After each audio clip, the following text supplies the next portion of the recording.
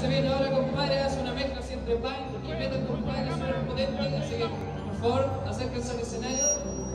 Ellos están a punto de lanzar su primer disco, ¿cachai? Y se viene super power. Así que, bueno, los dejo. Ellos son